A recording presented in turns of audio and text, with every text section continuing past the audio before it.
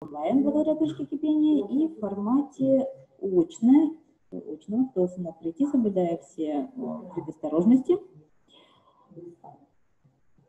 У нас на, в общественной палате именно по адресу Лисейская 211. Ну, в принципе, уже можно начинать.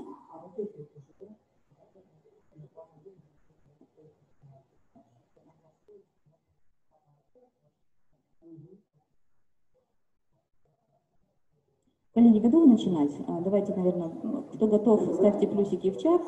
Если большинство готово, думаю, что приступим, чтобы не терять время, ибо в наше быстрое время ничего так не ценится, как само время.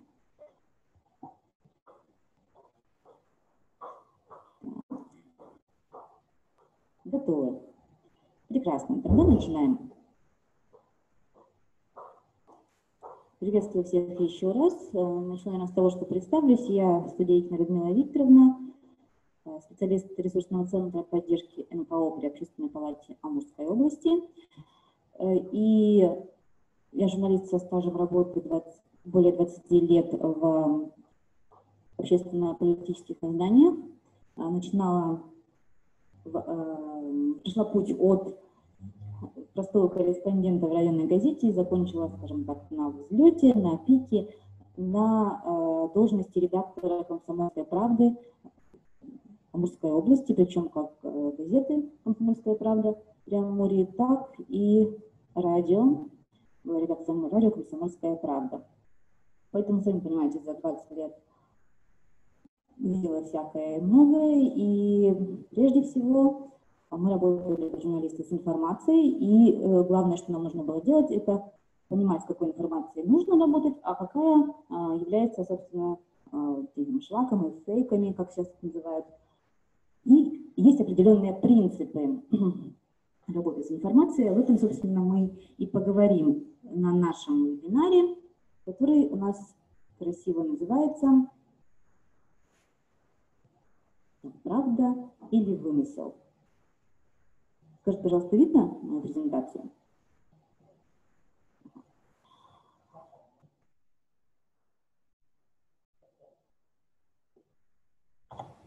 покрупнее. Почему, собственно, мы выбрали эту тему? Потому что все понимаем, а, как много сейчас, а, если раньше мы жили в индустриальном обществе, сейчас мы живем в информационном, и самое главное, это, конечно, информация, которая становится вокруг нас так много, что порой э, не знаешь, что из этого правда, а что нет. А самое главное, люди из-за обилия информации стали, э, на самом деле, ее сегментировать, чему-то верить, чему-то нет, ограничивать себя в группах общения. Так появились мессенджеры, а, наши знаменитые э, WhatsApp-группы, наши вайберы, наши телеграм-каналы, где мы сами выбираем себе группу, с которой мы будем общаться, потому что мы ей предварительно оказываем какое-то доверие. И э, именно поэтому мы, как люди, как пользователи информации, э, сообщениям через мессенджеры, через вот такие группы склонны верить больше. Мы знаем об этом не только мы, но и э, те, кто запускают неразмеренную, непроверенную информацию и самые фейки.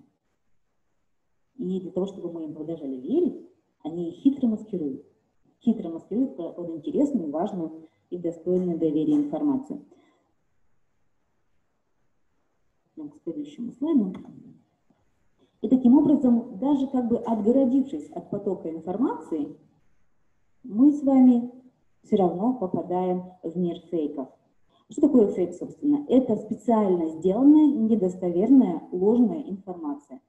Для чего она нужна? Она прежде всего э, нужна для того, чтобы ввести вас в заблуждение.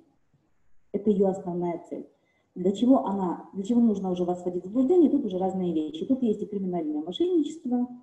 Э, все мы знаем, как э, одно время просто волна была, когда люди получали информацию э, по мессенджерам, там, мама, я попал в аварию, помоги. А сын в это время находился в другой комнате.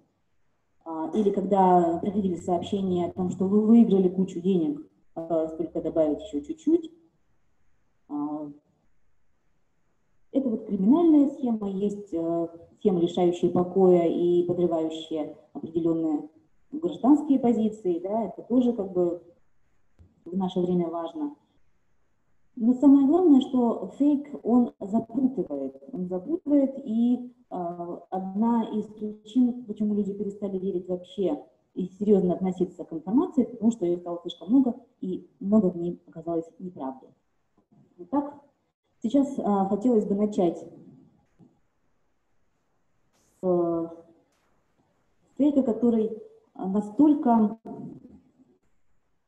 иллюстрирует всю вот эту ситуацию, что просто не могу пройти мимо. И так как у нас большинство присутствующих все-таки амурчане, он всем нам а, будет, как сказать, он прям нам в душу западет этот фейк. Ой, простите.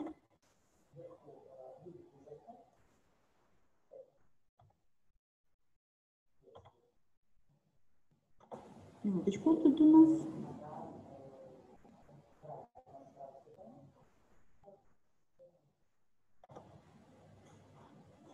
Небольшие технические наклонности, ну, как, правильно сказать, небольшие технические сложности у нас.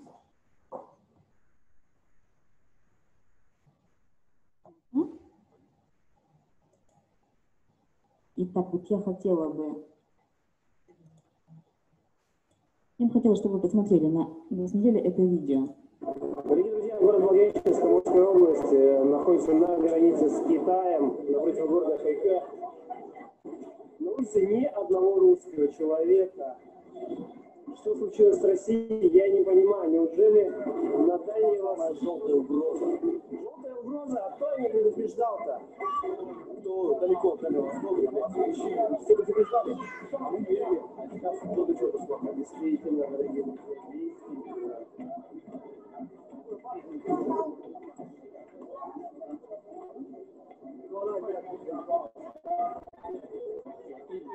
не верится, что это Благовещенск. Конечно, не верится.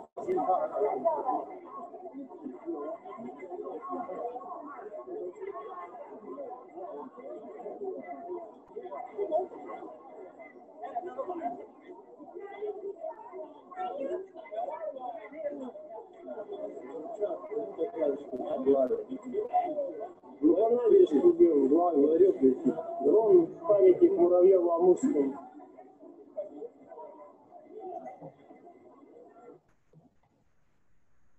Итак, посмотрите, посмотрели, да? Вот шокирующее, да? Это просто шок, это просто, а, это просто шокирующее какое-то видео. Я должна сказать, что это, у этого видео, а, как только оно, было, оно появилось на ютубе, у него в первые же сутки было больше 6 тысяч просмотров. Сейчас у него еще больше просмотров, потому что как вирусное распространялось. Могу вам честно сказать, что когда оно появилось, мне звонили друзья из э, Ростова-на-Дону и говорили, у вас там правда вот такое, да, вот смотри, смотри, что, прислали мне эти ссылки. Причем это вполне себе разумные друзья. Я, когда я увидела, я подумала, боже мой, неужели в это кто мог поверить? Почему? Смотрите, э, это очень хорошо сделанное видео на самом деле, очень хорошо подобранный фейк, тут мы видим эмоциональность, мы видим, ах, что случилось. А это видео появилось в момент, когда Крым присоединился к России, то есть мы видео больше четырех лет, но тут у нас показано, что это Благовещенск, Амурская область, указана дата, День России и много-много э, отсылок на коренные страхи русского человека. Если посмотреть, если отследить географию, можно увидеть, что большинство показов было на западе России. И тут же под этим видео стали появляться сообщения, а, что это набережная Харбина, что это Сунгари, а, и что это явно фейк. Но почему в таком случае этому видео поверили? Ваши предположения можно писать можно писать нам в чат, как вы считаете, почему люди на Западе э, поверили этому видео? Можно голосом ответить, почему люди поверили такую явную нам для нас, дальневосточников, ложь? А нам, благовещенцам, вообще обидно.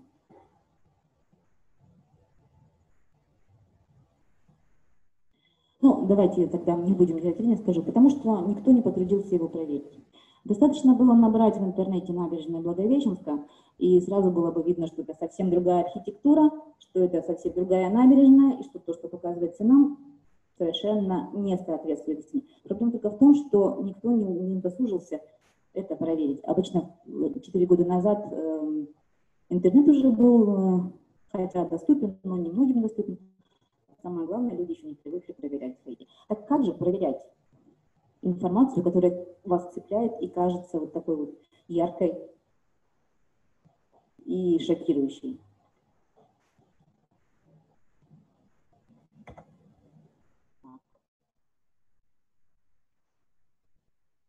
Смотрите, фейк проверяется обычно достаточно легко, и я, как журналист, делю, делю их на несколько видов фейков. Это простой фейк, вводный фейк и сложный фейк.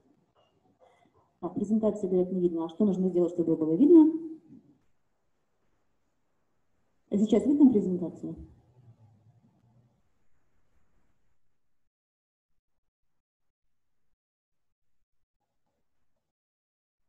Или если можно голосом ответьте кто-нибудь, видно ли презентацию?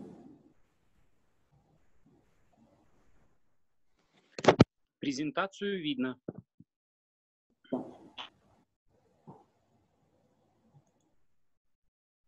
Итак, вот простой фейк – это то, что мы вот сейчас видим на экране, да?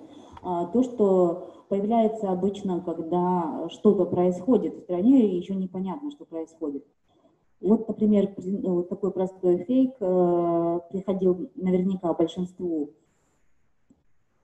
WhatsApp, как только у нас появилась э, опасность коронавируса. Смотрите, что здесь написано. Никто не должен быть на улице сегодня вечером с 23.40. Двери и окна должны оставаться закрытыми, потому что пять вертолетов распыляют дезинфицирующие средства в воздух, чтобы уничтожить коронавирус а, обработайте эту информацию для всех ваших контактов. Вот это вот э, простой пример из жизни. Почему это э, фейк?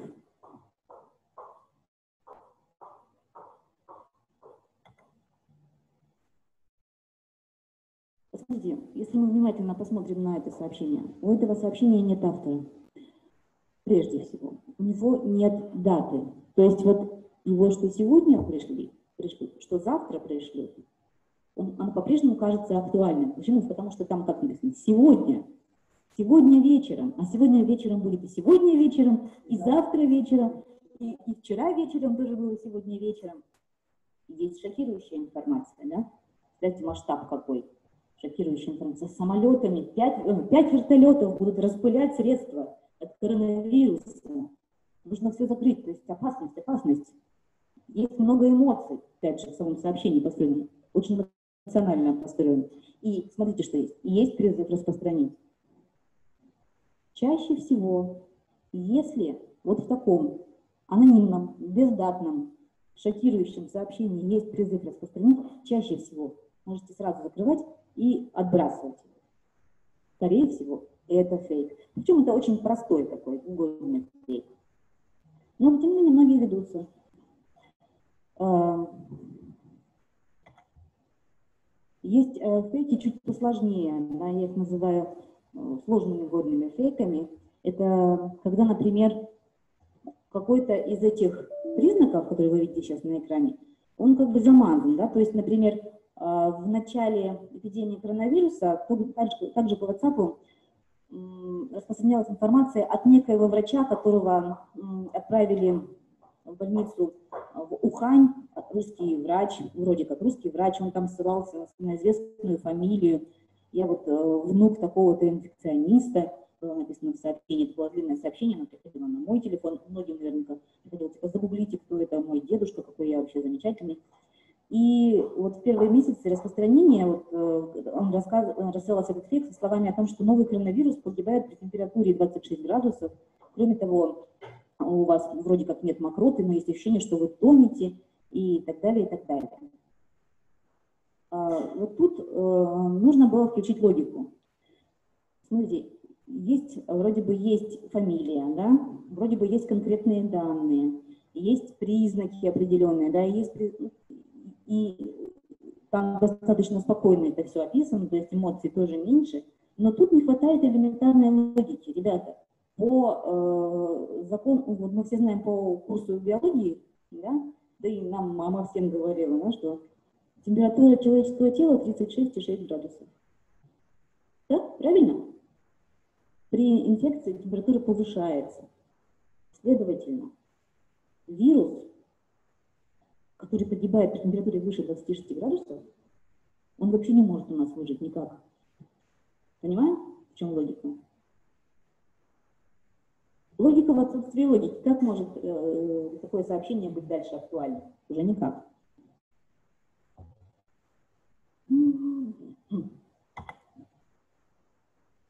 Что-то клавишами. Есть примеры э, более сложные. Это пример умного фейка. И тоже он встречался мне в журналистской практике. Вот, пример умного фейка.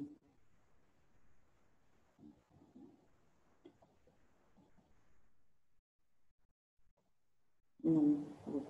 Террористы продают... Да, что ж такое? Презентация. Террористы продают гуманитарку местному населению.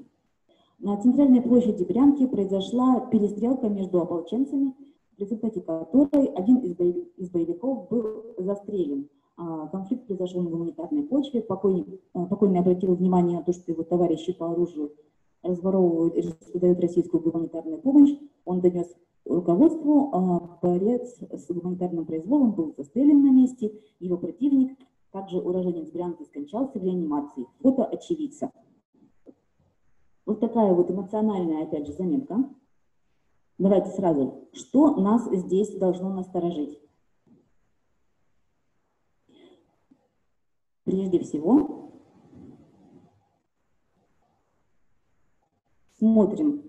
Это э, нет, по-прежнему нет даты, хотя есть какая-то конкретика. Много эмоциональной лексики, фотография странная, которая должна, ну, как бы, должна иллюстрировать происходящее, и также есть, э, также есть источник. Да? Вроде бы можно поверить, закрадываются сомнения, да? Давайте посмотрим чуть внимательнее. Проверяем. Даты у сообщения нет. А второго материала нет. Много, много эмоциональной лексики. Заметили, да? Тут э, много кавычек, много такой иронии злой. Фото обращаем внимание. Фото по делу ничего не иллюстрирует. Что мы видим на фото? Да? Мы видим, какие-то люди раздают какие-то пакеты. Максимум кто-то есть у нас в арафатке и штанах защитного цвета. Это что-то нам показывает, что-то иллюстрирует, что-то доказывает. Но если голова у вас холодная, вы понимаете, что нет. И пятое, что у нас э, вызывает вопросы, это источник. Источник новости, кто в данном случае это ультраполитизированный украинский сайт. Эта новость, кстати, тоже была в 2016 году. Самое главное, что мы видим здесь, это вот фотография.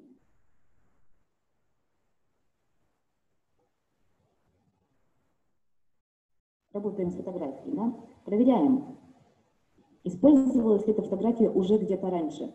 Как это можно проверить? Очень просто. Нужно загуглить. Загуглить, проверить в интернете. То есть скопировать эту фотографию и ставить в любой интернет-браузер в поисковик, поиск по фотографии. Проверяем, была ли эта фотография где-то использована раньше. И какие подписи стоят под этой фотографией на других сайтах, если она выдается поисковиком. Очень часто бывает, что фотография, использованная в таких вот фейковых, в таких фейковых сообщениях, она уже много раз использовалась в других источниках, другим сообщениям, совершенно с другими подписями и по другому поводу.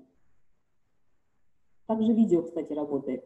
Достаточно проверить, встречалось ли это видео еще где-то и для чего оно было там использовано. А также обращаем внимание на детали. На детали, которые мы видим на видеоизображениях. А, любые мелочи, которые могут помочь нам э, разобраться. Это памятники, таблички с названиями улиц, номера машин, э, какие-то надписи. И вот совпадают ли эти детали с той картинкой, которую нам дает сама фотография и сообщение. Давайте посмотрим, что у нас дальше с этим.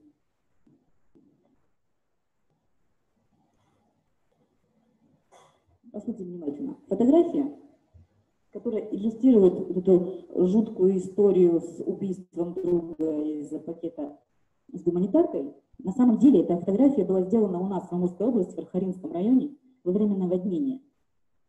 Эта фотография есть в базе РИА новостей. И я вам скажу даже, что э, наша редакционная группа вылетала вместе с этой э, во время, во время наводнения 2013 года вместе с этой гуманитарной помощью. Гуманитарную помощь а, в это время в Архаринский район привозил известный российский актер Гоша Куценко. В кадре, конечно, его нет, но зато есть, смотрите, внимательно, есть депутат городской думы, ну, уже бывший депутат Евгений Пасканный, узнаваемая личность. На пакетах, что мы видим? Мы видим на пакетах всего это Амурской области. Это всем нам знакомые пакеты из магазина «Прима». Ну вот, э, понимаю, что если фотографии не очень хорошо видно, ну, потом мы вам презентацию эту раздадим, разошлем, и вы сами посмотрите, насколько эта фотография вообще не относится к тексту, который, который она должна иллюстрировать. Вы видите, вот там я отметила красными кружочками, да, наш, тут даже видно, что это магазин Прима написано. Также вот здесь вот картиночка, это наша Амурская область.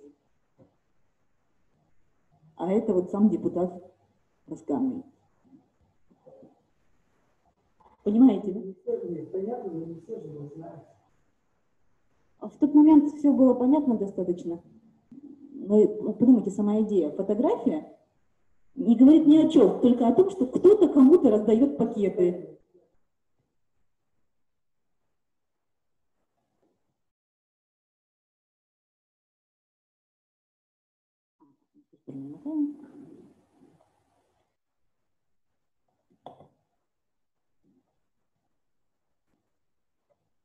Он не хочет нас... Промотали. А, смотрите, если мы вспомним видео, которое мы смотрели с вами сначала, то точно так же это видео не выдерживает критики при ближайшем рассмотрении. Что мы видим там? Мы там видим в 1900, э, в 2016 году оно было, было сделано, э, это видео, но мы там видим через реку опоры моста, мы видим там э, другую растительность, мы видим там, самое главное, э, мы видим там совсем другую набережную. Дальше там показывался какой-то, вдали показывался какой-то памятник, который должен был быть у муравьевого мозга. Мы прекрасно мы с вами теперь понимаем, что тогда через Амур не было никаких мостов, вообще никаких, никаких сооружений на границе с, э, с Благовещенском не было вообще. Да и мост совсем недавно построили, еще даже не запустили. Через замок построили мост. Так это когда его? Он еще не в эксплуатации, совершенно верно. А там мы видим ванты, мы видим опоры, мы видим там много сооружений. Вот, вот Благовещенск, вот Хэффи. Фейки все рассчитаны на то, что вы не будете проверять, что вы не будете присматриваться, что вот эта шоковая составляющая полностью отключит у вас э, ваше критическое мышление, и вы в ужасе побежите рассказывать о том, как все ужасно. Но давайте с вами, давайте с вами подумаем, как же тогда э, должен выглядеть не фейк, а настоящая информация, заслуживающая доверия. Настоящий новостной текст, это я вам как журналист говорю, должен обязательно отвечать на шесть вопросов. Что произошло, кто там что-то делает, когда это произошло, где, почему и как это происходит. Вот это правдивая информация.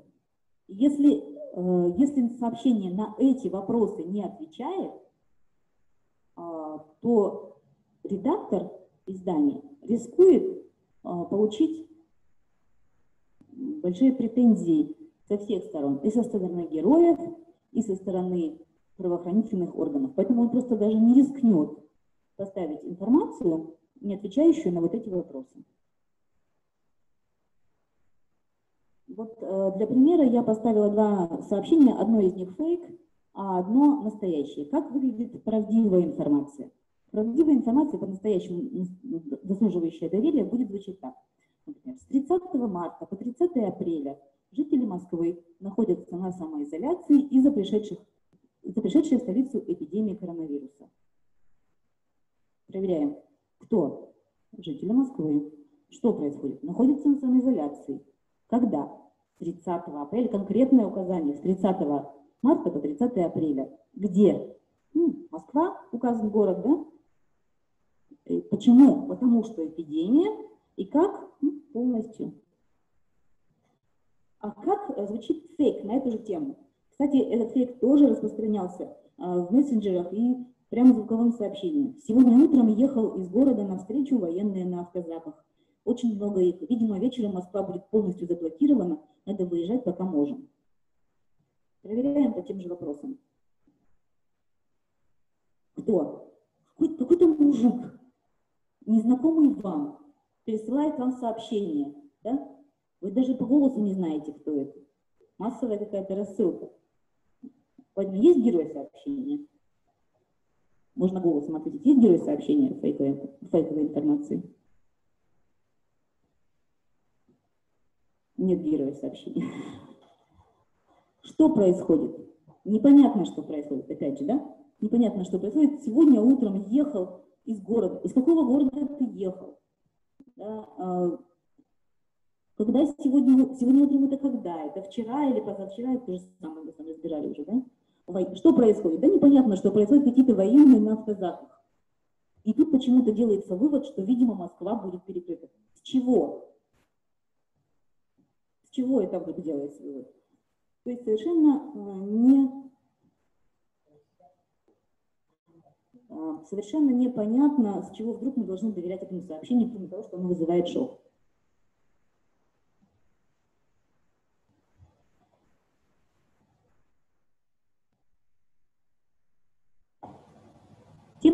Менее, очень часто э, я встречала в своей практике такой посыл.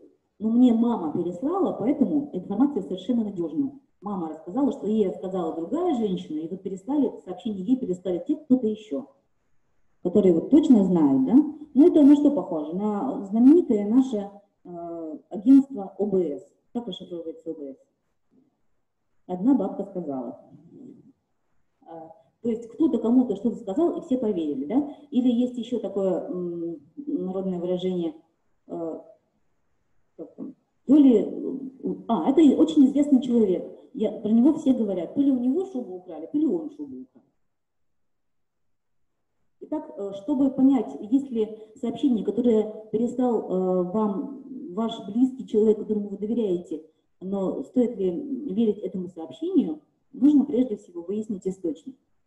Выяснить источник, откуда у него эта информация.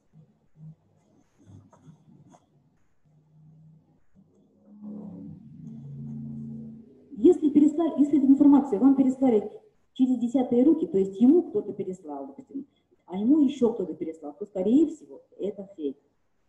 Если неизвестно, откуда эта информация, тоже, скорее всего, фейк.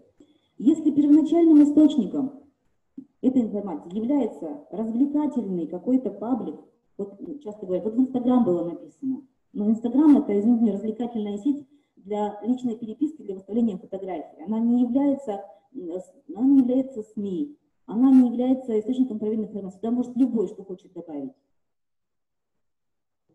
Поэтому э, это считается развлекательный паблик, поэтому если он говорит, я читал в Инстаграм, это, скорее всего, тоже фейк. Еще признаки фейка встречаются в интернете только в одном виде.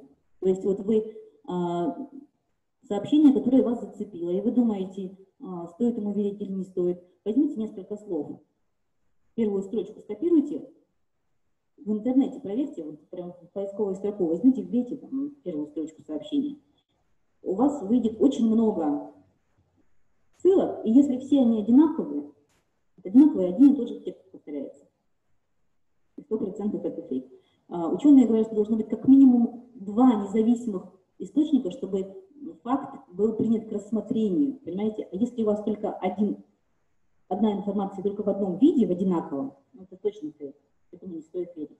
Как проверять, э, я, я понимаю, да, что как проверяем? Мы берем первую строчку сообщения, копируем ее и отправляем, вставляем в поисковик Яндекса, поисковик Гугла, чем вы пользуетесь, любой поисковик. Также можете посмотреть, что если эта информация, а, идет она обычно анонимно и а, несколько лет уже идет, то есть вы видите по дате сообщения, там, например, что она была в 2014 году, в 2016 году, что а, сообщения печатались в Брянске, что, например, в Волгограде такие же сообщения, в Хабаровске, в Приморье или еще где-то, но информация одна и та же. То есть вот информация гуляет по всем городам, это тоже, скорее всего, фейк. Вот такие фейки обычно рассылаются перед Новым годом. А, бананы с чумой, мутирующие а, мандарины, а, иголки со спидом торчащие, потерявшаяся девочка. Чаще всего это фейк. Или там воткнутые в, в кабинке иголки с бубонной чумой. Вот наши мамочки почему-то периодически пересылают такой друг. Понятно, что боятся за детей, но тем не менее это фейк, которому лет уже очень много. Еще один признак, еще один признак фейка – это обрезанное фото. Когда к сообщению прилагается фото и видно, что из него что-то вырезано, например, одна голова на фотографии, или не видно фона совсем, нет деталей, которые можно были, могли бы подтвердить э, информацию, то это, скорее всего, тоже фейк. Опять же, фигурируют не конкретные люди, а какие-то места и учреждения, которые есть в каждом городе. Наверняка вам попадались такие сообщения, где э, говорят, сегодня в микрорайоне, в нашей школе, в кустах нашли, и дальше уже следует приложенный текст. Совершенно нет никакой привязки к месту. Сегодня нет места, ну, нет э, точности. В нашем микрорайоне, в каком нашем микрорайоне? В микрорайоне какого города? школе. Школа сейчас есть везде. То есть опять мы видим, нет э, какой-то серьезной привязки к месту, нет конкретики. Еще бывает маскируется этот факт под э, учреждение с длинным научным названием, например, НИИ культуры человека. Э, точно так же интернет нам в помощь. Берем хоть какую-то конкретику из сообщения, да, вот, например, вот, специалисты НИИ культуры человека сказали, что э, вирус ковида гибнет при, ну и дальше там сообщение, да, забиваем НИИ культуры человека. Есть вообще такое учреждение хоть где-то? Скорее всего, нет.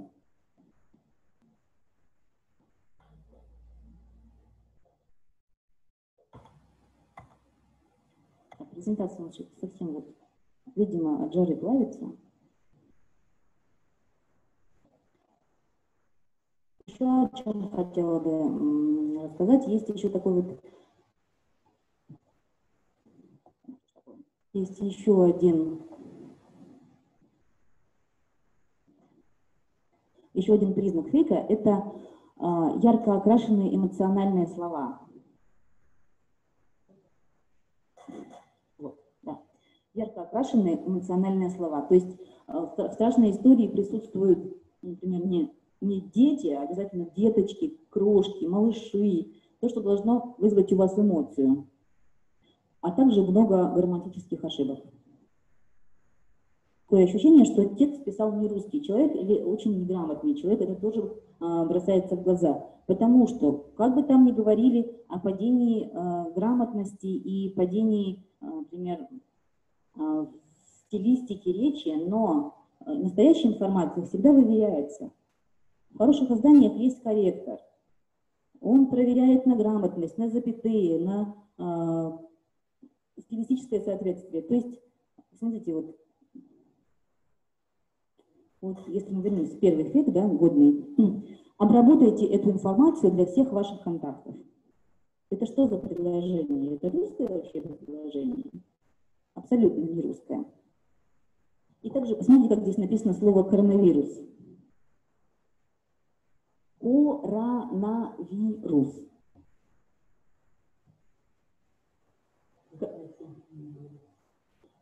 коронавирус пишется не так.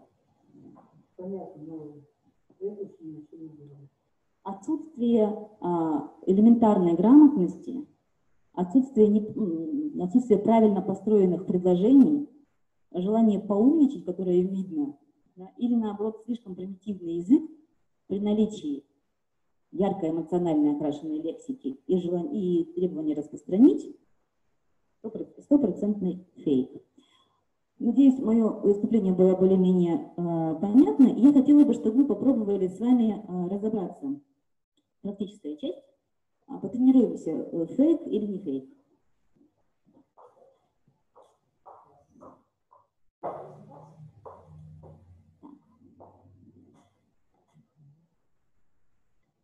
Сейчас эм, покажу м, видео. Ну, он- в общем, да, она чуть-чуть устарела. Посмотрите, пожалуйста, и скажите, как по-вашему, это фейк или нет?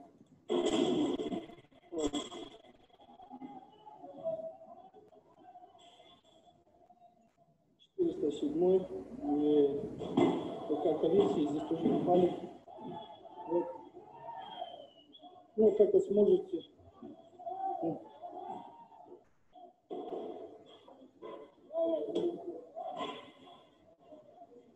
М,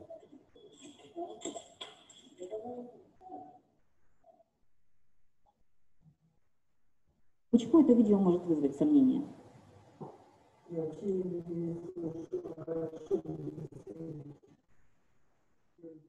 Ничего не могу сказать. Это Фейк это не фейк, потому что я не видел содержания, я не слышу текста. отлично. То есть видео, во-первых, видео ни о чем, да? Ну вот, но обычно к нему это видео реально расходилось несколько дней назад по WhatsApp. Подпись была, э, Свободный ГПЗ, наверное. да, ГПЗ свободный, бунт на ГПЗ.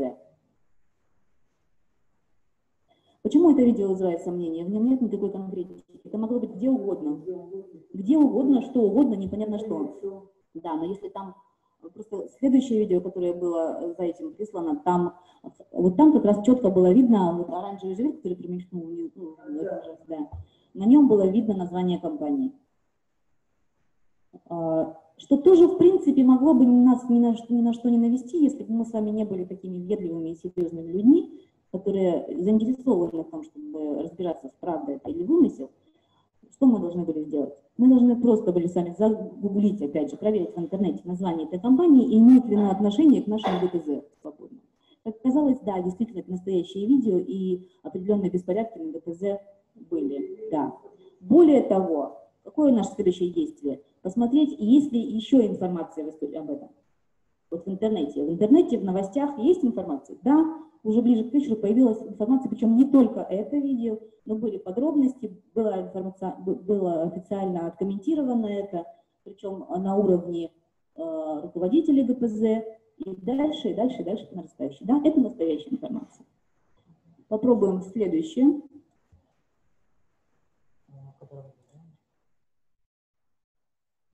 Нет, нет. Вот. Сообщение, да? Здесь не видео, здесь читаем, да? Здесь мы читаем. Центробанк изымает из оборота пятитысячную банкноту с изображением Хабаровска. А, информация появилась тогда, когда в Хабаровске пошли митинги а, по защиты губернатора. Совершенно верно. Итак, прочитаю сообщение. Э, Центральный банк России, Центральный банк России на экстренном совещании принял решение об изъятии из обращения на всей территории России пятитысячной банкноты с изображением Хабаровска. Причиной такого решения стал тот факт, что именно пятитысячные купюры наиболее часто фигурируют в уголовных делах по коррупционным статьям. Дальше, дальше, дальше у нас там идет некое пояснение пояснение главы ЦБ Эльвиры Набиулина. А также пояснили, что изображать, э, что выпуск новых билетов Банка России с изображением Хабаровска приостанавливается. Э, Руководство финансового регулятора представили новый дизайн пятитысячной купюры с изображением Махачкалы. Проверяем. Вот давайте посмотрим. Фейк это или не фейк? Как вы считаете? Можно голосом ответить.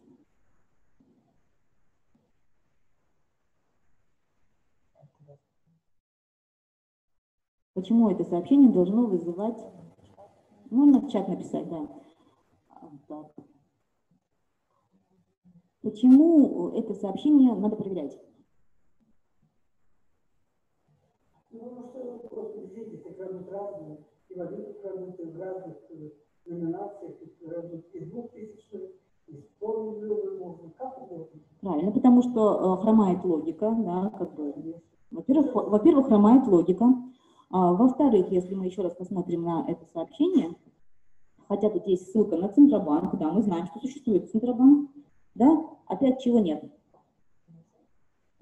Нет конкретной даты. С какого, да, совершенно верно, нет периода. С какого числа, когда, непонятно. Совершенно верно. Когда это начнется, да? А губернатора арестовали, и Шаев и его сын находятся под следствием, на домашнем аресте, а тут он, Муравьев Амурский, знаете, все это вместе смешается. Да, совершенно. Смеша- Все это смешано, но тем не менее, смотрим, опять же, по нашим признакам. У нас тут нет конкретики, нет даты, да? и у нас самое главное, нам, мы должны выяснить источник. Смотрим источник этого сообщения. Да, написано. Сатирическое издание ИА «Панорама». Сатирическое, сатирическое издание. Э, Дальше, если мы будем с вами дотошными журналистами и серьезными людьми, вот тут есть вкладочка об издании, вот это было 12 июня, но тем не менее это действительно, апреля. да, вот видите, написано об издании, это вот у них внизу есть предупреждение, где они пишут конкретно, я его открываю, все без исключения приведенные на сайте Панорама Паб материалы являются сатирой и выдумкой.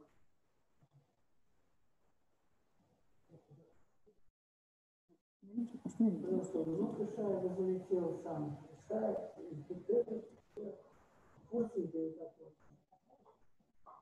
Так, ну вот, собственно, это то, что я хотела вам сказать конкретно, потому что напомню, что мы с вами а, делали акцент на практические вопросы, на практические упражнения. Если есть какие-то вопросы, давайте попробуем разобрать. Вопросы можно писать, писать в чат, можно задавать голосом.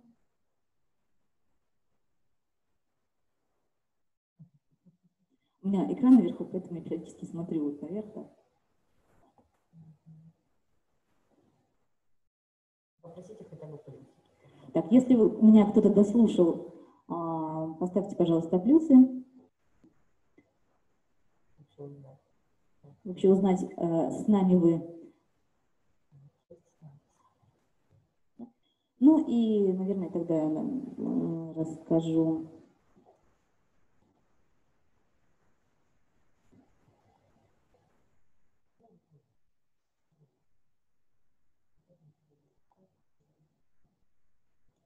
Так. Еще раз скажу, что э, опорную нашу демонстрацию, э, презентацию, слайды, где написано, что есть признаки фейка, какой должна быть настоящая выверенная информация. Мы, вам, мы отправим всем тем, кто не только поставил плюсики в чат, но и прислал свою электронную почту.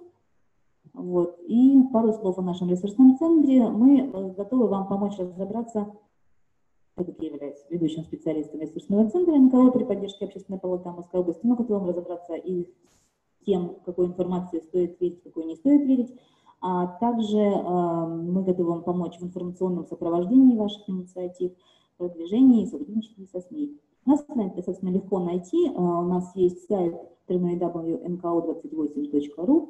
Также всегда готовы прочесть ваши письма по электронному адресу, он тоже очень простой, nko28 собака mail.ru. И у нас есть телефон, который работает по местному времени с 9 утра и до 18.00. А, Думаю, смысла особого э, озвучивать его нет, но в презентации он будет. Так что какие-то вопросы, сообщения, всегда готовы вам помочь ответить. Запись будет. На нашем портале nko28.ru, на канале у нас есть YouTube-канал, также у нас на портале в разделе «Копилка опыта». Ну, спасибо вам за то, что были с нами. Тогда будем прощаться. Тогда, наверное, будем прощаться, да, ибо в наше быстрое время самое дорогое – это время. Если что, можно комментировать. Если что, можно Писать нам комментарии, писать письма. Будем рады обратной связи. Всего доброго. До свидания. Так,